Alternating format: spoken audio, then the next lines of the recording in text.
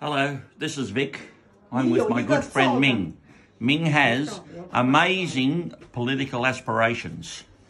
And I think anybody that gets in with Ming would never look back.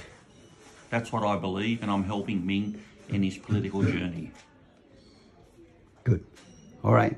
Uh, we hope him will come here one day, Yes. Sunday.